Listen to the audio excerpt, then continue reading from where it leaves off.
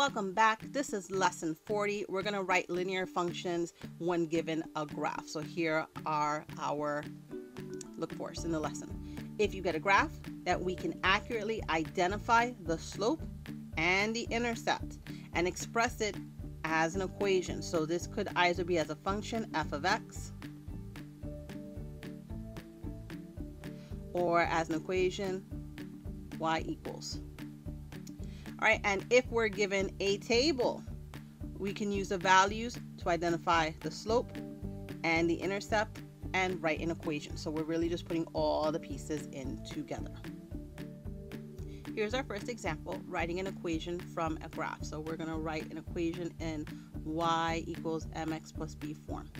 So first step, I'm going to look for our intercept. So I'm going to look at our y-axis and find a point where the line intercepts and we see it right here at point zero four. So that means we have the very first part of our form of our equation. We have b is equal to 4. Okay, first piece of the puzzle. Now we just have to figure out what m is equal to. And we're going to identify slope using that rise over run. So let's start off. Here's our, I'm just using this point here, negative 2, 0. And I'm going to, on my graph, just go up 2. So I notice I have to go up 2 and over 1 to get to that next point. Up 2 over 1. So my slope, m, is equal to 2 over 1. Okay, so that's what we're seeing here. Here's our change in y, here is our change in x. So m is equal to 2 over 1, or just 2. So here's my equation. y is equal to 2x plus 4. All right, hit pause and jot this down. Now, if the triangle part is still confusing to you, you could use your equation m is equal to y2 minus y1 over x2 minus x1. And so pretend, let me just erase this part. This would be my first point. This would be my second point. So here is x2 and y2 and here is x1 and y1 and all you do is substitute the points in. So our y is 4 so 4 minus 0 over. Our x2 is 0 and our x1 is negative 2 so here's the tricky part. So 0 minus negative 2 and we'll simplify that part out 4 is on the top, that was easy.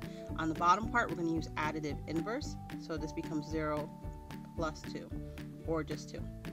And there you see it. Our slope is 4 over 2, which is the same thing as 2. So either way will work. I personally like using the triangle method for finding change of y over change in x, but if you would prefer using the equation, you can. Hit pause and jot this down into your notes. Let's write an equation using a table. So we're going to start off. Let's figure out what the m would be. Like notice already I don't have my intercepts written here. So let's find out what the slope would be. I'm going to take two points. I'm going to choose these two here. This is going to be point one. Here is point two. So let's write our formula. Actually, I want to give myself a little bit more room. So here I'm just going to put 1, here 2.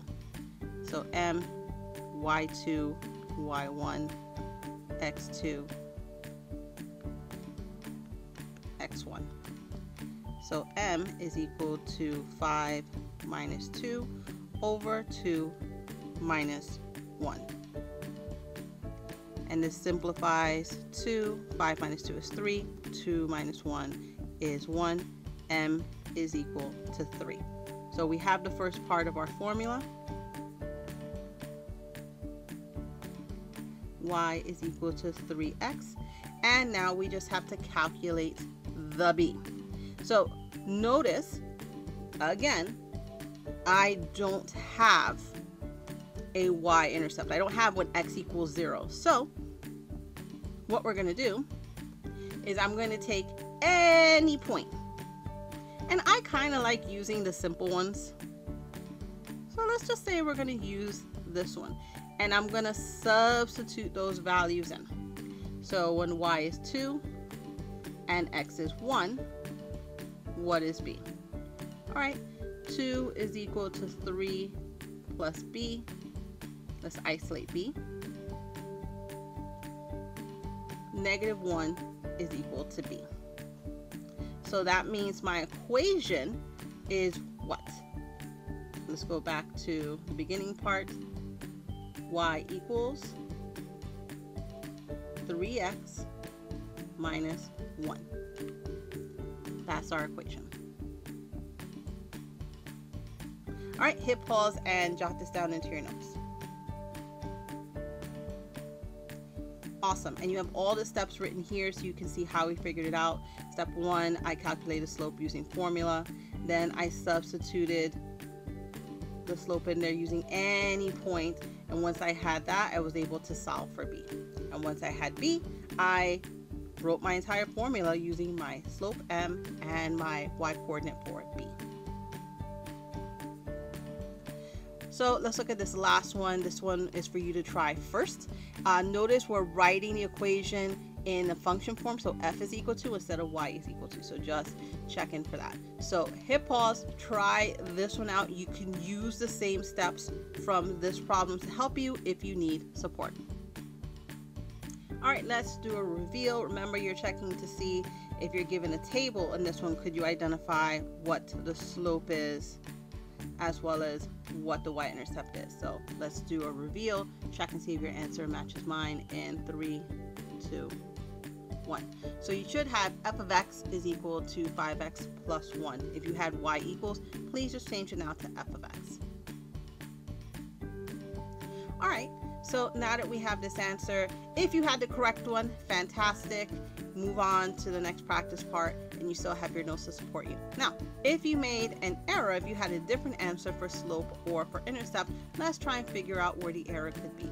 We're going to start off finding our slope m and using our same formula. And I'm deciding which points I want to use. So I'm going to decide on this point for one and this two. Now do notice I tend to go in order. So as I'm naming, I, I'm writing it down. This is always first, first point always comes before the second point. And I'm choosing these for a reason. Try and see what the reason would be. Well, for one is I don't want to do 6 minus negative 4 right now. I'd much rather do 16 minus 6. That's why I chose these. So you don't have to always pick the one from the top. You can choose any points you want. The slope is going to be constant anyway. So I just decided to do those. All right, so let's substitute in 16 minus 6 over 3 minus 1 which is equal to 10 over 2. So my slope, I am going to simplify that. Instead of having 10 over 2, you could have 5 over 1 or 5. So now we have our slope. m is equal to 5. So you notice we don't have an intercept here. So what I'm going to do is I'm going to write y equals 5x plus, I don't know what my b is yet. I'm just going to choose any point. Doesn't matter. Um, for simplicity, since I am going to do some multiplying, I'd rather have an easy x to multiply with. So I'm just going to pick when x equals 1. But it doesn't matter. You can pick any point and this will work. So let's substitute. 6 is equal to 5 times 1 plus b. So 6 is equal to 5 plus b. And it's really easy for me to solve b is equal to 1. So now that I have that, I can go back to my original formula and I know what my m is equal to is 5. So 5x plus 1. But remember, my question asked for this to be represented as a function. So I'm going to write f of x is equal to 5x plus 1. And that's it for today's lesson, Math Marvel. You're going to do a lot of practice with graphs and tables, but now you have multiple strategies for finding the slope as well as being able to identify or calculate the intercept. That's it for today's lesson. I hope things are really starting to click in a way that makes sense. And as always, use your criteria for success for targeted feedback from peers while you practice and check for accuracy. I'll see you in the next lesson. Be well.